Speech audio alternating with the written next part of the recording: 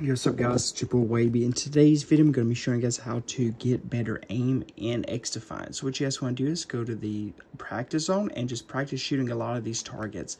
Um, like you, like basically I would use your gun that you're most comfortable with.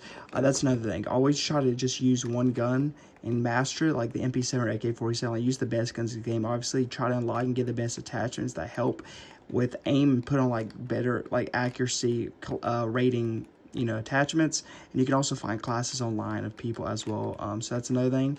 Another one is to get like a control figure, something, or your controller. That helps a lot. Another one is to change your settings on the game.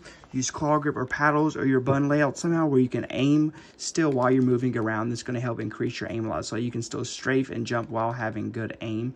Play on a monitor helps as well, of course. Setting it on game or FPS mode is good. Or playing on 120 HZ um, also highly recommend. That helps your aim. And then also I'll recommend these settings. Um, you want like a hundred, um, all these kind of basic ones.